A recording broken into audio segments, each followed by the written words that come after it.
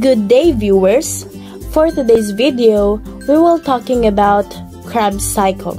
But first, let me give you an idea about the history of our topic for today. Did you know that Mr. Hans Adolf Krebs is a German chemist who discovered this cycle in year of 1937?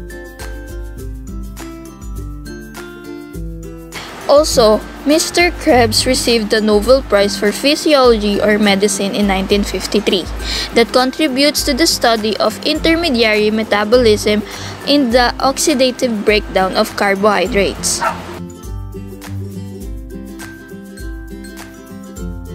I'm sure that all of you are very excited to learn more about Krebs cycle. That's why this video is for you. Come on, let's continue to watch and learn. Krebs cycle is also known as citric acid cycle or tricarboxylic acid or TCA cycle.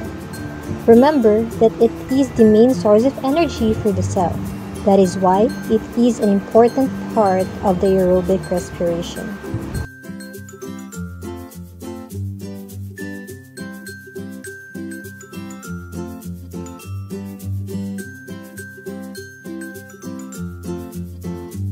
The acetyl-CoA formed from glycolysis enters the Krebs cycle and undergoes further metabolism to generate important molecules for future use in ETC.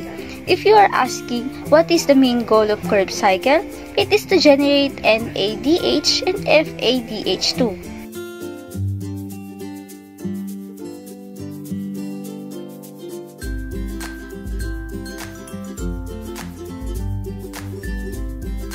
Furthermore, Krebs cycle lies in both the efficiency with which it captures energy released from nutrient molecules and stores it in a usable form, and in the raw materials, it provides for the biosynthesis of certain amino acids and of purines and pyrimidines.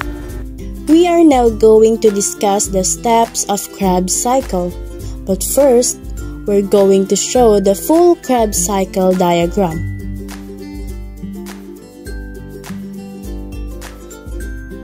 The TCA cycle is usually described beginning with acetyl-CoA.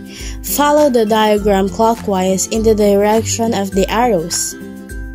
The TCA cycle begins with an enzymatic aldol addition reaction to acetyl coenzyme A to oxaloacetate forming citrate is the isomerization of citrate by a dehydration-hydration sequence to yield 2R3S isocitrate.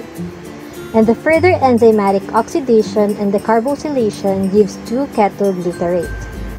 After another enzymatic decarboxylation and oxidation, 2-ketoglutarate is transformed into succinyl-CoA. The hydrolysis of this metabolite to succinate is coupled to the phosphorylation of guanosine diphosphate or GDP to guanosine triphosphate or GTP. Enzymatic desaturation by flavin adenine dinucleotide or FAD dependent succinate dehydrogenase yields fumarate. After stereospecific hydration, fumarate catalyzed by fumarase is transformed to L-malate. The last step of NAD-coupled oxidation of L-malate to oxaloacetate is catalyzed by malate dehydrogenase and closes the cycle. Before the Krebs cycle begins, a glucose molecule must be converted to acetyl coenzyme A. This process yields two acetyl coenzyme A molecules to be fed into the cycle. Thus, the cycle proceeds twice per original glucose, yielding twice the product shown.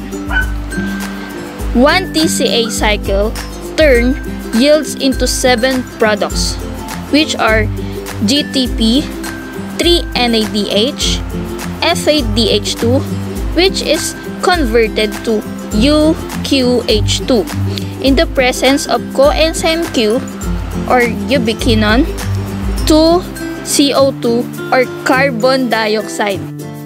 In our video, we see the importance of the Krebs cycle lies in both the efficiency with which it captures energy released from nutrient molecules and store it in a usable form. As we end this video lesson, we hope that you've learned and gained some knowledge in our discussion for Krebs cycle. That's all for today. Thank you!